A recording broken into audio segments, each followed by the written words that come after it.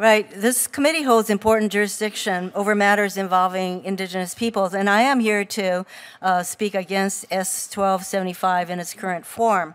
So, our indigenous peoples are the American Indians, Alaska Natives, and Native Hawaiians. These are our original peoples. As members of this committee, you are aware of the experiences and challenges of Native peoples, including the history of decimation and prolonged subjugation by the federal government. This history is one of the reasons that the federal government has enacted laws intended to help our indigenous peoples and recognize our government's trust responsibilities to them. While I am not a member of this committee, I am here because the matters you are discussing today are very important for the Native Hawaiian community. I'm here to share my serious concerns over the decision to exclude Native Hawaiian housing programs in S 1275, the Bringing Useful Initiatives for Indian Land Development Act, also known as the BUILD Act. As this committee's legislative vehicle to reauthorize the Native American Housing Assistance and Self Determination Act, also known as NAHASDA, the BUILD Act is an opportunity to support all Native communities the BUILD Act, however, strips out Title VIII, which includes the Native Hawaiian Housing Block Grant and 184A Native Hawaiian Home Loan Guarantee Programs. By omitting Native Hawaiian housing programs, the BUILD Act strikes a blow not only to the 37,000 Native Hawaiians who would or could directly benefit from their inclusion, but also it strikes a blow to the over 500,000 Native Hawaiians in our country.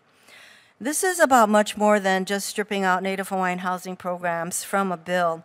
At a time when we see us against them perspectives rising in our country, we cannot allow divide and conquer tactics to undermine collaborative efforts to bring people together. Sadly, intended or not, the BUILD Act is an example of dividing Native peoples. This bill threatens strong alliances and partnerships Native communities have forged over decades. I understand that suggestions have been made to Native tribes that supporting Native Hawaiian programs may jeopardize funding for their own programs. I strongly oppose those suggestions, and I believe that dividing Native communities is frankly unconscionable.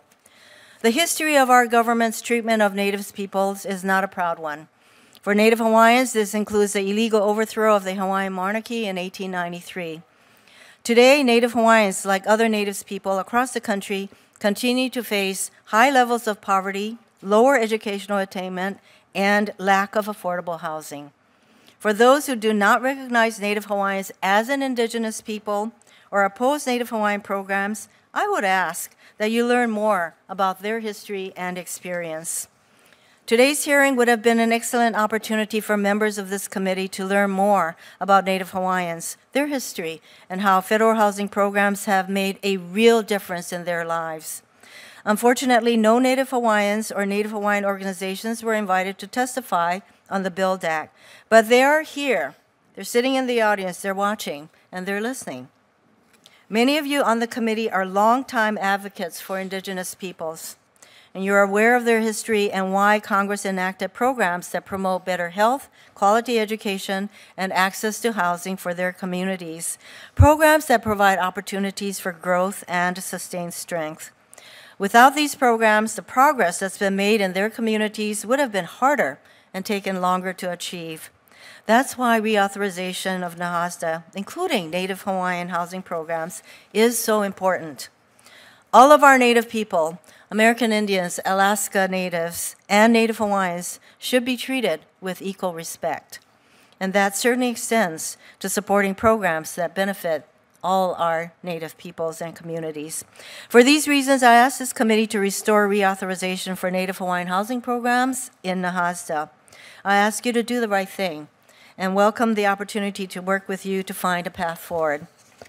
I'd also like to submit a longer statement for the record on behalf of the Hawaii Congressional Delegation, signed by Senators Schatz and myself, and Representatives Hanabusa and Gabbard in opposition to the BUILD Act in its current form. And Mr. Chairman, I do thank you for your openness in going forward so that our Native peoples can be treated with the respect that they deserve. Mahalo nui loa. Thank you